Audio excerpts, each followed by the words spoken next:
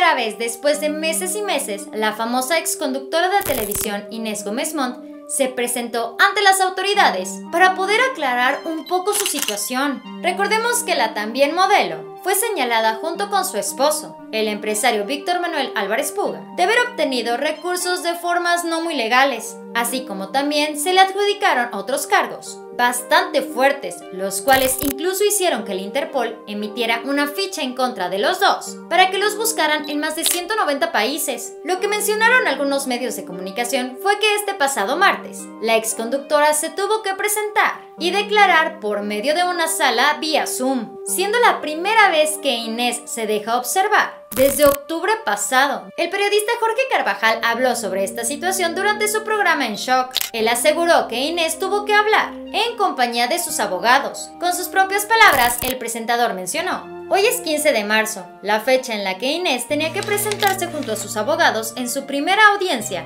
para ver qué es lo que sucederá con su situación legal. Ella sí estuvo conectada.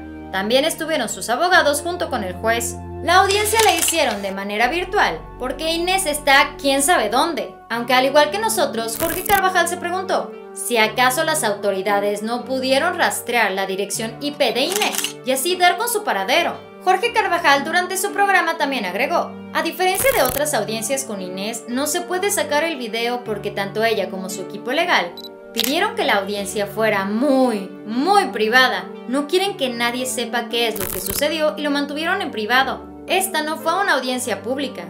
Aunque para este momento no se sabe absolutamente nada más de esta audiencia, es muy probable que en los próximos días se empiece a salir información. Probablemente en el club a un abogado se le salga a decir, oye, fíjate que yo estoy en el caso de Inés y pasó tal y tal y tal y tal. Lo cierto es que el nombre de la conductora ha estado en boca de absolutamente todas las redes sociales últimamente. De hecho, hace poco volvió a ser tendencia en plataformas digitales, porque su ex suegra Tita Bravo dio a conocer que tanto Inés como su esposo Víctor Manuel sí estaban en vivo y a todo color en la Ciudad de México. Por si esto no fuera suficiente, Tita Bravo también confesó que la ex conductora había comenzado a tomar desde que era muy muy joven, algo que la tiene bastante preocupada, pues sabe que sus nietos pueden heredar esta enfermedad. A través de una entrevista para la revista TV y Novelas, Tita aseguró, sí, claro, ella me lo platicó. Me dijo que empezó a tomar desde que tenía 11 años.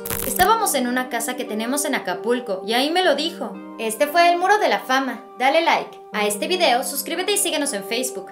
Pero antes de que te vayas, ¿qué te parece si checas este siguiente video? Estoy segura que te va a encantar. Espero que tengas un excelente día. Nos vemos muy pronto. Bye.